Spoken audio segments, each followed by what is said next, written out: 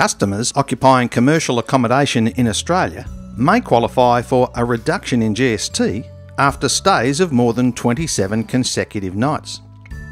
The reduced GST is known as the concessional rate. This is calculated by applying a 10% GST to 50% of the inclusive amount for an effective tax rate of 5.5%.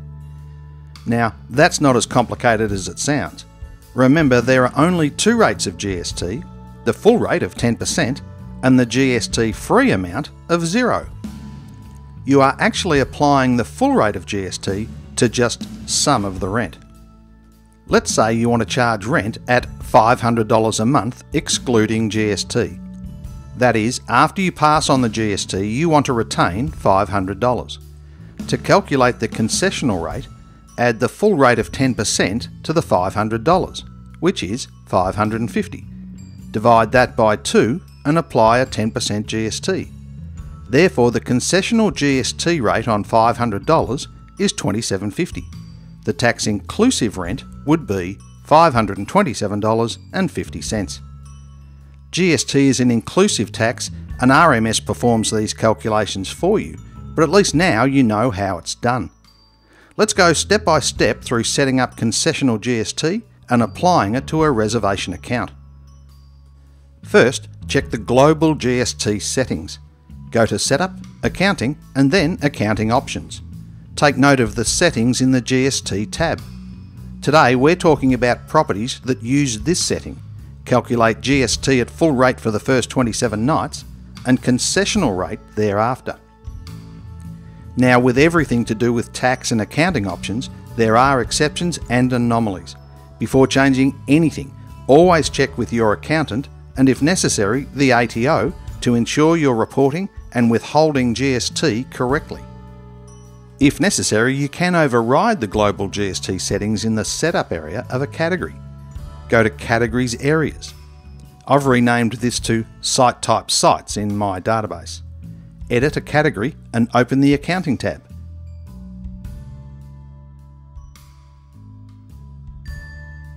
If you need to have a GST rule for this category that is different to the global rule, change it here with this drop down box. This is sometimes necessary when a property is divided into zones to provide for long term and short term stays. So, now that we've set our GST rules, we need to create the charges. In RMS, long term guests are billed using sundries attached to a repeat charge. Under Setup, go to Accounting and then Sundries.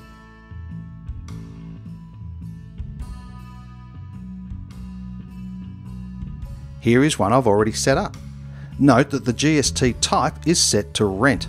This ensures that the sundry charge will observe the GST rules we set earlier. For now, I'm going to assume that your long term guests have stayed with you for more than 27 nights.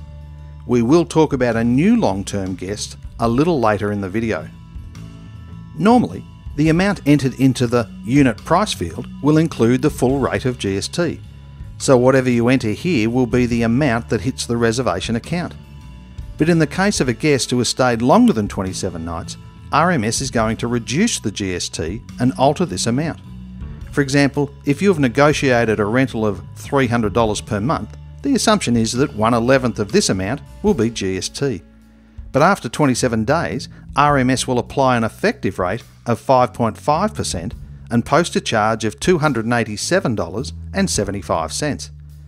Now, that is calculating everything correctly, but if you'd prefer the original charge of $300 to post on the account because it looks neater or you don't want to confuse the tenant or you just like round numbers, then you will have to amend the unit price to take the concessional rate into account.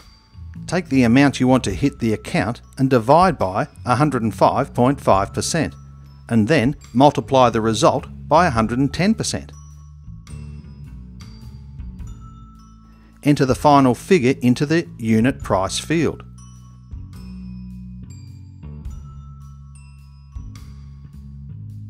One last thing to check the GL code that this sundry is attached to must have this setting checked to report the associated income correctly as accommodation. To apply this charge to an account, go to a reservation that has stayed for over 27 days. Ensure that the reservation is set to long term. This setting will force RMS to charge the concessional rate of GST from day one, which is typically used when a guest moves from one part of the property to another.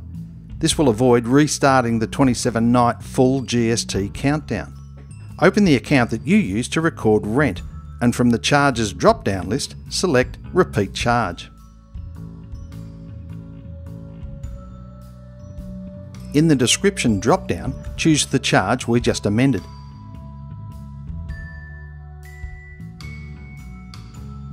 For an existing reservation, uncheck the Initial Transaction checkbox.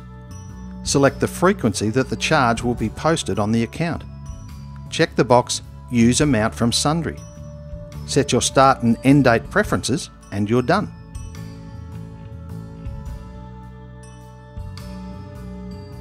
Now the GST will be displayed correctly on receipts and invoices, financial reports will calculate taxes correctly, and your guests will be happy that they are being charged the agreed rent.